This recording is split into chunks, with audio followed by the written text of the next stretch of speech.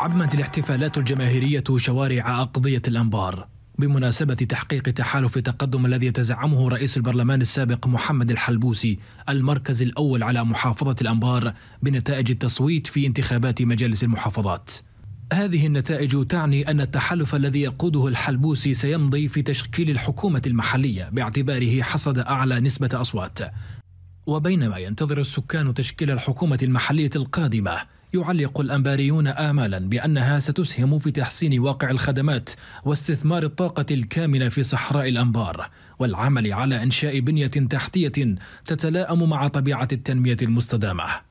حزب تقدم حقق أيضا نتائج غير معتادة في اقتراع مجالس المحافظات إذ جاء اولا في بغداد التي شهدت أقوى المنافسات واكتسح في الأنبار وهي معقل خصومه الذين احتفلوا مؤخرا بما أسموه نهاية الحلبوسي. كما حصد مراكز متقدمة في محافظات أخرى وصوت له نحو نصف مليون ناخب.